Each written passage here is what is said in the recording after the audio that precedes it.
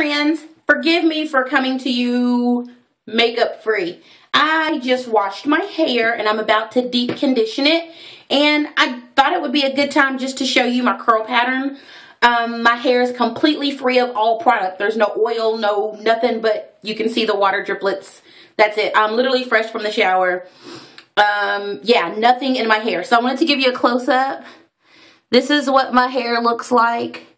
Completely product free. So this is my curly pattern. You'll see I have pretty much spiral curls all around my head.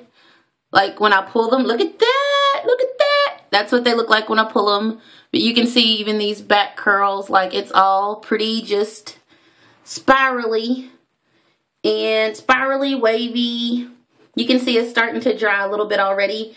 So I've got to hurry up and get off camera. You see how thick my hair is. Like I talk about it being thick all the time, but like for real, look. It's like a jungle sometimes. It makes me wonder how I keep from going under. Yeah, it is so like a jungle. Like you got to get through there for a minute just to get to my scalp. Um, but yeah, this big sideshow bob looking mop is my hair.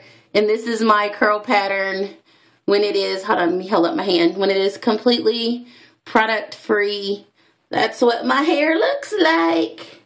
So yeah, lots of spiral curls all the way around and it's starting to get dry. Like you can kind of see my hair color on here now.